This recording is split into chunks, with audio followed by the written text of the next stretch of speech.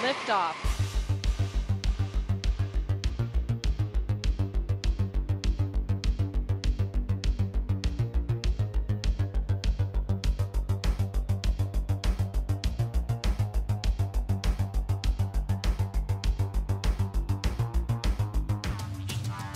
In case we ever discover an asteroid actually headed towards Earth, we want to know that we can use this technique to change its orbit so that it does not impact Earth.